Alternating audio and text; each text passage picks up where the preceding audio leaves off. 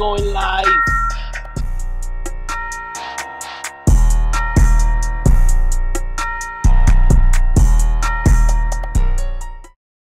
Hey, good day everybody. How you doing? Thank you for joining me. Just in case you're joining me for the very first time, I'm your host, Brian Glaze Gibbs. Hey, normally what I do is I talk about the good, I talk about the bad, I talk about the ugly, I talk about my lifestyle and how I became who I became between the age of 14 and 24, being a sick young individual getting caught up into that street life or whatever. Hey folks, listen, you know what? Sometimes when you listen to people, we all have opinion. And even right now, like I say, what I'm talking about today is it's just opinion. I say, first of all, you know what? I respect some of these young guys, especially these days in time, as far as what they're doing, especially in the NBA, the NFL, Major League Baseball, hockey, you know, when they do it legit, you gotta respect that. Because once again, like I say, they are much smarter than I was when I was a kid. I was in the street throwing brick at the prison wall. Here it is, these guys in corporate America. And to me, even with that being said, it's like they got all the opportunity in the world. And but when you look at the chaos and the stuff that they go back and forth with, with the nickel and dime stuff and the behavior and the mentality, it just throw me off, man. So today, what I'm talking about is this, man. You know, years ago, about three years ago, you know, sit back and think about it. When you heard, you know, being a native Brooklyn, I'm a Brooklyn native. Okay, when you hear Kyrie Irving and Kevin Durant coming to Brooklyn, whoa, that's huge because two of the most talented individuals in the NBA at the time, both is coming to Brooklyn, the Brooklyn Nets. So you know what you're thinking about? Championship, parade, you know, Brooklyn, New York City in the uproar. Because one thing about it, folks, when these folks win, the only thing we've been winning is the Yankees. And we couldn't even tell you the last time a Yankee won. But those are the individuals right now that have been bringing it to us. As far as right now, you know, the Yankee. The Yankee have been definitely keeping, you know, the New York, you know, say metropolitan area on lock because they bring championship. You know, okay, here it is right now my time. I have seen a New York Giant bring a couple Super Bowl. But besides that, the New York Knicks haven't brought a, a, a championship since 1973.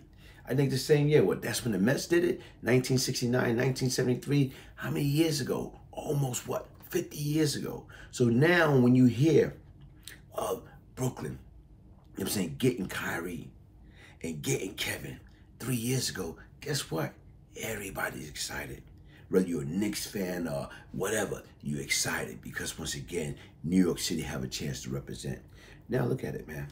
Look what happened. You got Kyrie coming from the Boston Celtics when you thought that should have been a good situation or whatever. But then again, what happened? You got attitude. You got personality. They don't gel.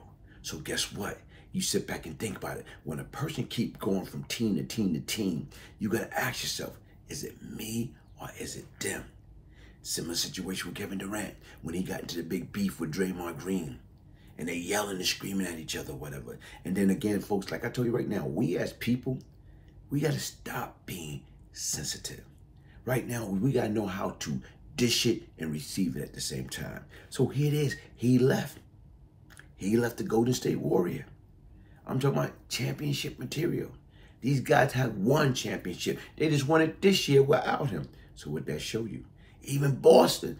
Boston got to, what, the final. Wow, Kyrie letting them know, guys, listen, man, y'all not all that.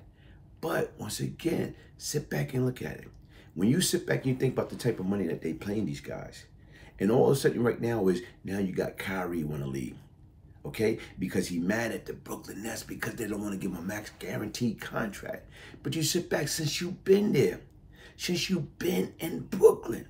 Had you add value or have you take value away?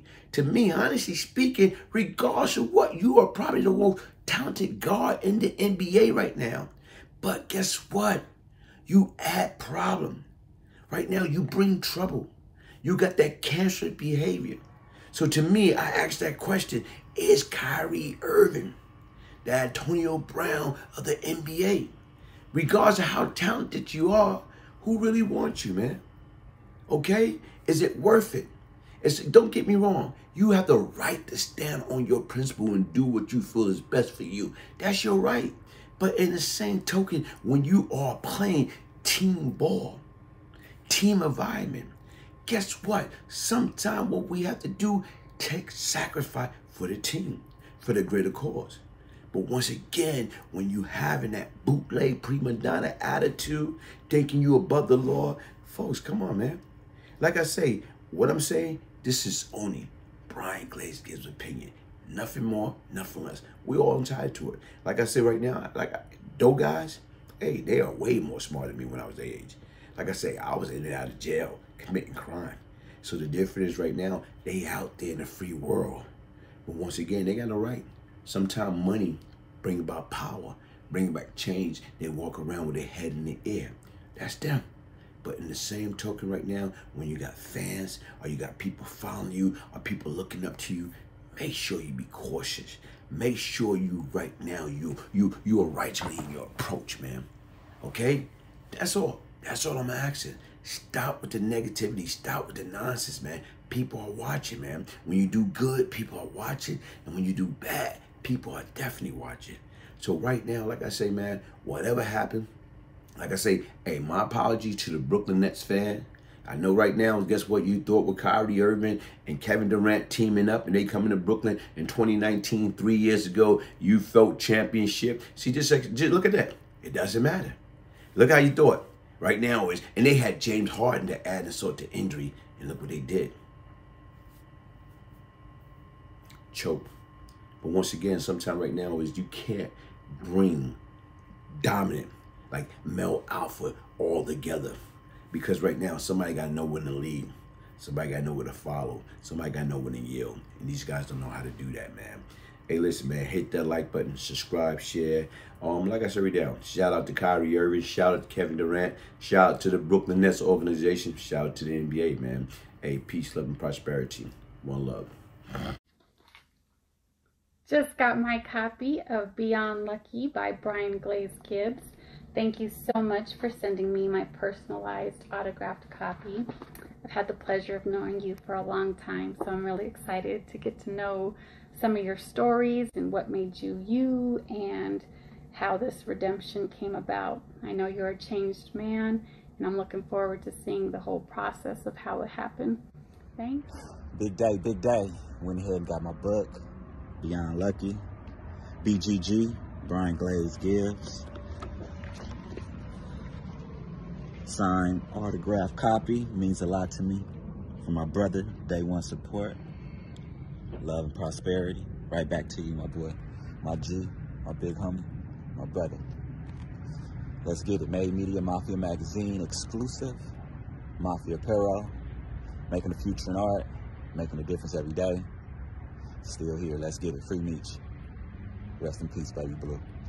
Whatever you want My name K2, you know what I'm saying, man? Young cat trying to get my life together, man. This right here, a lot of knowledge, man. Strong mind, I appreciate it. Have you checked your tire pressure today? I don't have a flat. Have you checked your blood pressure today? No, I don't feel sick.